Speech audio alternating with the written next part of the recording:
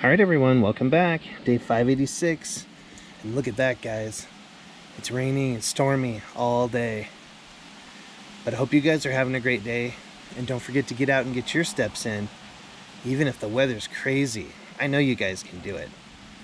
And I'm going to set up the time lapse and you guys can watch this rain th roll through.